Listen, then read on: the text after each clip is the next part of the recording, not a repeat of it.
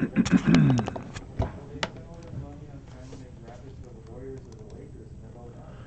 right, hello, and uh, welcome to uh, this Facebook Live. I'm Dirk Verdoorn, the KCRA 3 Weather Center, and we're looking at some interesting changes. Temperatures really did warm up over the weekend. We had daytime highs that made their way into the mid to low 90s. Uh, it even got up to 100 degrees in Redding and, and uh, through uh, Red Bluff um, this Sunday afternoon. But there's some changes coming, and we're looking at cooler air moving in, more thunderstorm activity in the Sierra, so let's go ahead and take a look at what's going on right now with our weather pattern. Start out with taking a look here, satellite view showing us all the thunderstorm activity that's happening. Again, right now, it's 641 and the sun is up, temperatures are warm, we have all this instability out here and through uh, much of the western states from Oregon, Idaho, Montana, Wyoming, Denver, Utah, Arizona, New Mexico has some really big stuff popping up there. You got some interesting thunderstorms, but we're going to focus on California um, and the overall weather pattern that we have going on.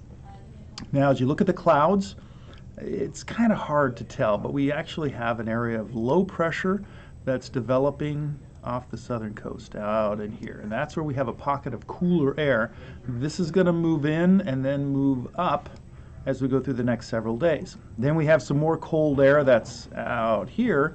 This is eventually going to work its way in and then also come through and give us some more cool weather. Now with that cool weather, we're also talking about thunderstorm activity, instability showers that are popping up. And you can see that's quite extensive right now out here in the west and throughout the Sierra. We're still seeing lots of this. And as the sun goes down, we'll see this all taper off. In fact, we're seeing things taper off into the central portion right now, but still holding strong from uh, Plumas County through uh, Lassen County and up north. So Modoc County and uh, on into Siskiyou County, we're seeing lots of thunderstorm activity. And then to the south, we're seeing uh, some showers popping up here or there. But uh, Again, this is going to repeat over the next several days. We're looking at lots of thunderstorm activity. So let's take a look at Futurecast. This is what's going to be happening as we make our way through Monday morning. Uh, marine layer tries to build back in, and that's a good sign. That's going to help to cool things off along the coast through the Bay Area and then on into the Delta. We'll feel its effects as we go through the day on Monday. The winds are going to be on the increase. We'll notice that as we go through Monday afternoon. And then look at this Monday afternoon as well. Thunderstorms start popping up. You can see the rain here and through the Sierra. We see some in through the northern coastal mountains. And what's interesting about this change in the pattern is I think we're going to start seeing more of these thunderstorms work their way down the western slope of the Sierra. Most of it's been over the crest and on the eastern slope. Now we're going to start seeing more activity make its way over the mountain, and we could even see some in the, the valley, a few little sprinkles and showers that are going to be popping up. Uh, north of Chico into Tehama County, we'll see some of this, and we could even see a few little isolated scattered showers make their way in through not only the Sacramento but the San Joaquin Valley. And here we are on into Monday night. Look at this rain, Stanislaus County. Again, no guarantees, but there's the chance we could see some of that as we head into Tuesday morning. Tuesday, what's going to happen? Well, more thunderstorms popping up in the Sierra. You can see kind of these waves that come through. They make their way across the Sacramento Valley and then we see it kind of dissipate as we go through Tuesday night and into Wednesday morning and then we should see a repeat again as we go into Wednesday. So this is the pattern. More clouds, cooler temperatures, stronger onshore breeze, lots of thunderstorm activity is going to be popping up. Um, let's go over to this pattern here showing you where we have the warmer air in place and then we just have this little pocket. This is an area of low pressure with temperatures that are a little bit more mild.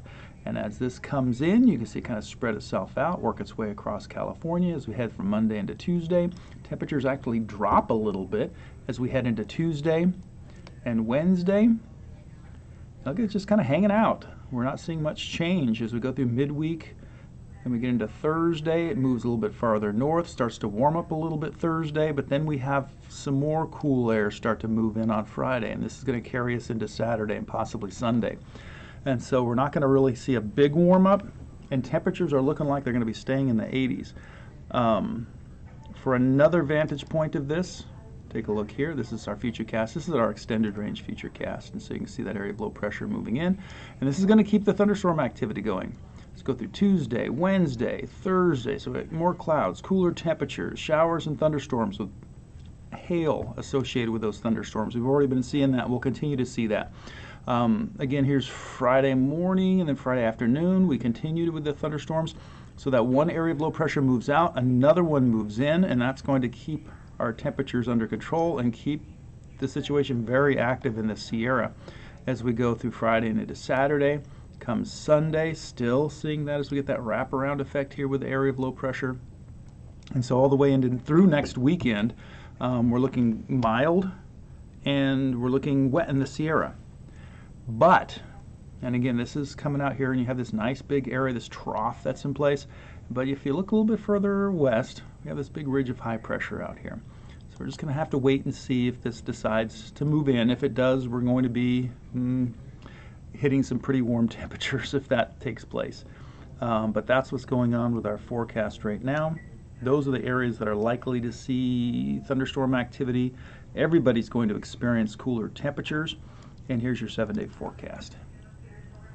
Through the next seven days, look at this temperature drop. We're looking at a good, you know, 10 degree drop as we go into Monday. Daytime highs in the mid to upper 80s, and then we drop another another big step as we get into Tuesday.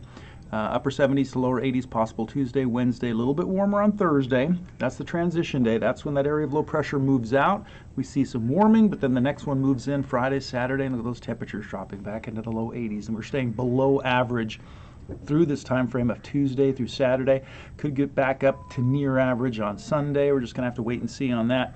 But uh, the future is looking like what we've been seeing in the past. Temperatures staying pretty mild and very active in the mountains. And this is also, again, kind of a good thing because, you know, if we had really hot weather in the mountains, um, we still have a lot of snow up there, and so that could really, we're already seeing things increasing with the runoff. Um, but right now we're doing pretty good. Nothing's crazy. We do have some flooding, but uh, nothing's uh, uh, going out, out of control as far as the flooding goes. And uh, that snow is melting, and we're just kind of moving it through the system, and that's a good thing. Um, but things are running high, and those rivers are going to be running high, it looks like, for an extended period of time. But uh, if you like the more mild temperatures, that's coming your way. You'll love that. That's a great forecast for you. If you're waiting for some more heat, there's the possibility down the road of that, of course. You know that's going to come. We're going to get into some triple digits here. I wouldn't be surprised if we saw it before the end of the month. But right now, the first half of the month is looking below average as far as temperatures go. So that's a look at what's going on. Hopefully this has been helpful for you. And um, again, KCRA is the place if you want to know what's going on with the weather. Hopefully this is something that's helpful for you to plan whatever activities you might have or just your work week ahead. Thanks for watching and have a great week ahead.